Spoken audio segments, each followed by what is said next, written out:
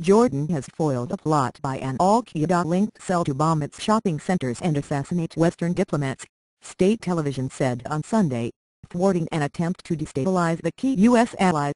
Security forces had detained 11 suspects, all Jordanians, in connection with the plot, which envisaged carrying out attacks in the capital Amman using smuggled weapons and explosives from Syria, according to security officials cited by television.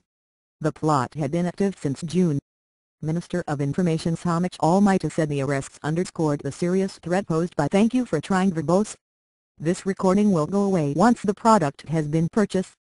Radical terror groups seeking to undermine the kingdom's long tradition of stability. The key U.S. ally in the Middle East and Israel's peace partner, Jordan enjoys close ties with Western intelligence agencies and has often been targeted by al-Qaeda and other Islamist militants. The cell had targeted two major shopping malls in the capital and was planning the bombing campaign in the capital's affluent Abdoun neighborhood, where many foreign embassies are located. The security source said the suspects had manufactured explosives aimed at inflicting the heaviest losses possible. Thank you for trying verbose. This recording will go away once the product has been purchased. The group was able to devise new types of explosives to be used for the first time and planned to add TNT to increase their destructive impact, said the source. The same security source said there was a crucial link with Syria where President Bashar al-Assad is battling to put down an uprising against his family's rule.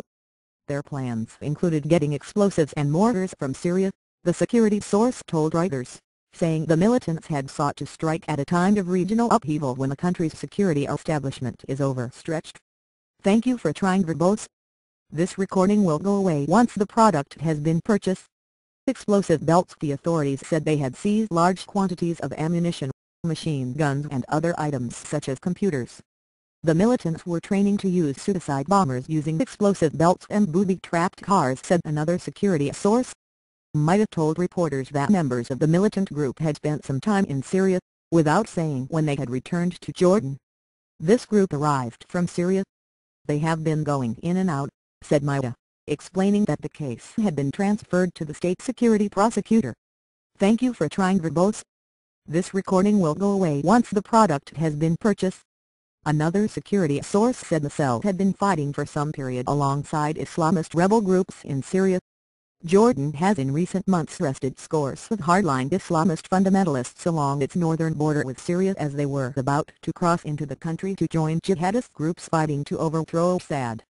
If Jordan allows Assad opponents to aid the armed uprising, Amman's security forces fear the Syrian government could retaliate by sending agents to carry out bomb attacks inside the country.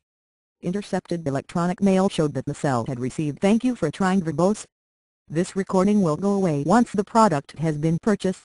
Advice from Iraqi Qaeda explosives experts.